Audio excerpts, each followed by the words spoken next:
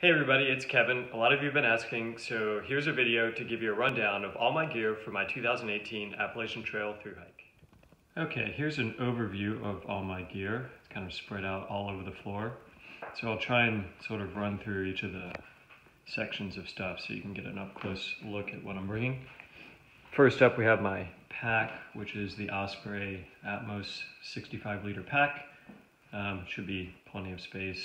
Not the lightest pack on the market by any means, but it'll get the job done. And then since I'm starting on February 26th, um, and just because of elevations and whatnot along the trail, I'm definitely bringing my puffy jacket. That one here is a Patagonia, just something that I already had. It's pretty light.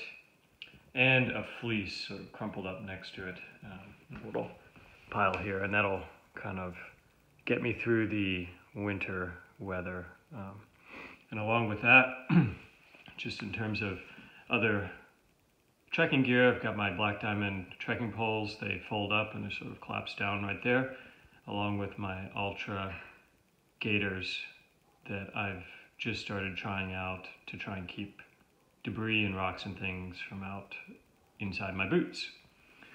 Over here, I've got my little sitting pad, um, just the Z-Lite small pad, something to sit on at camp. Double as a windscreen or fan of fire, um, multiple uses for that, as well as my camp shoes, which are some old Crocs that I had that I tried to clean up, but they're still a little dingy. Moving up from that, I'm going to be using the Big Agnes Fly Creek HVUL2 tent. So there you see the tent. Inside the tent bag is the footprint and the tent stakes, and then I have the poles just out separately. It's a very lightweight tent, but plenty of room. I did not go for a one person tent because I felt like I would be sleeping in a coffin. So the two person tent is still really lightweight and gives me plenty of room to be comfortable in my mobile home on the trail. And then above that, I've got my sleeping pad. I'm not going very traditional on the sleeping pad. Most lightweight hikers seem to use either a foam pad um, or the Thermarest Neo Air Extra Light. This is a Thermarest Pro Light pad.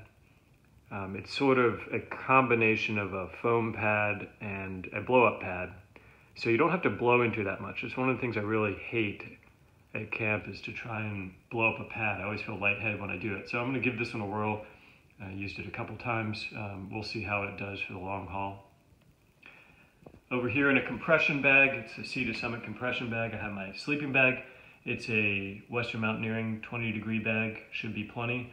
And then along with that, that blue thing is a Sea to Summit pillow, which may seem like a luxury item, but it's super light, only a few ounces, and um, it makes all the difference in terms of getting a good night's sleep.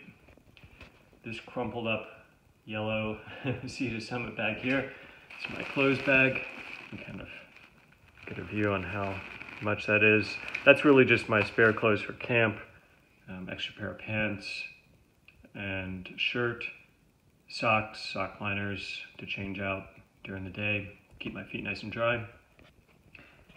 Other clothes that I've got that I'm bringing due to the cold weather, I've got my beanie that I got in Cuzco, Peru, so you can see it says Cuzco on it, as well as a balaclava, which is sort of a combination of a buff and a balaclava just to keep around for when it's really cold, helps keep my head and neck warm, and uh, it's great for sleeping as well.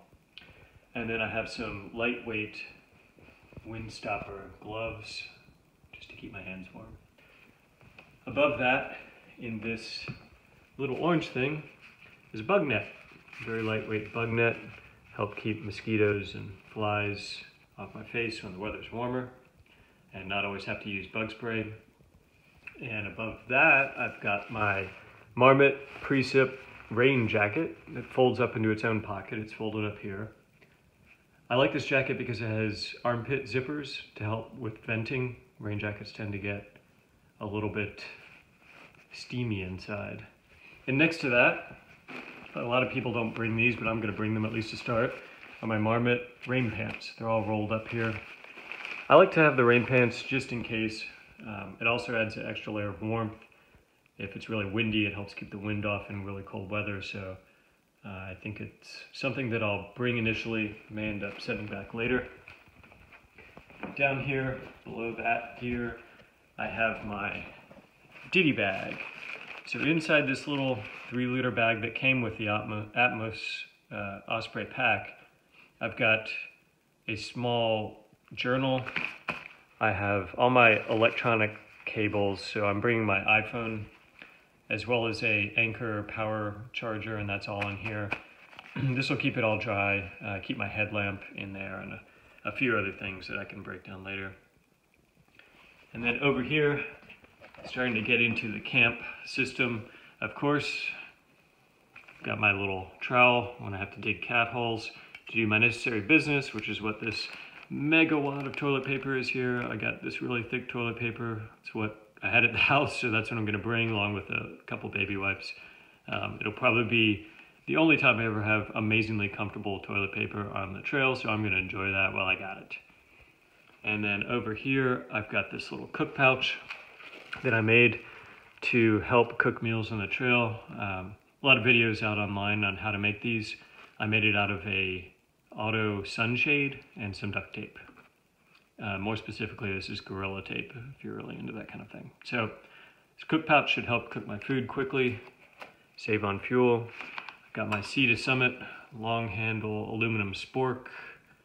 Wouldn't be a trail uh, hike without a spork, right?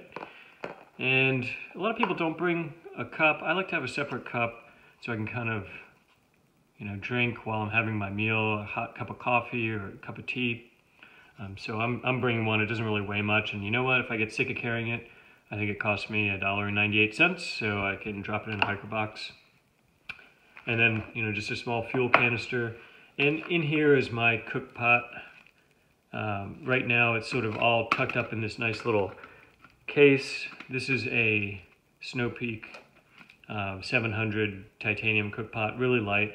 I've got it all wrapped together with some silicone hot lips, help me keep from burning my mouth inside, uh, two Bic mini lighters just for fire, as well as uh, it's in a cup koozie, which is made out of the same stuff as this, which I'll break down later. And here I've got my food bag. It's a Zpacks food bag. I love the Zpacks for its lightweight and durability, and it's waterproof. And here's the hanging system for the bear bag, the cord, as well as the little sack to put some dirt and rocks in to throw over, throw the rope over the tree to hang the bear bag.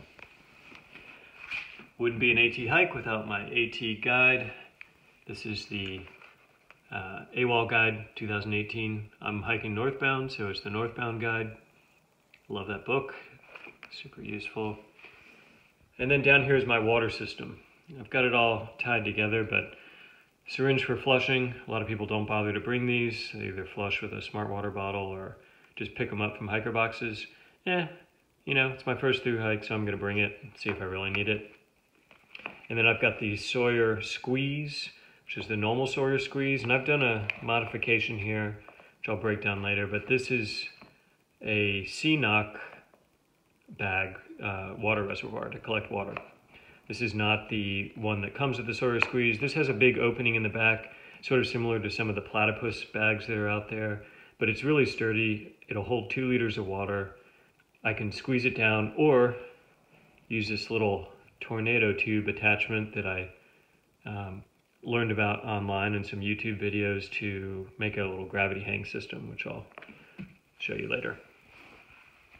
Over here are some random bits and bobs. I've got some Dr. Bronner's and a little scrub pad to keep everything clean in my cookware, some Burt's Bees, a bit of Sawyer bug repellent. I'm going to bring the picaridin, trying to avoid DEET and see how this works. I've heard good reviews. We'll give it a whirl. Some hand sanitizer. A lot of people asked me if I was going to bring a big knife on the trail, and uh, no, I don't want to carry a big knife, so I'm bringing this tiny little Swiss Army knife. It's actually a pretty amazing tool. It's very sharp.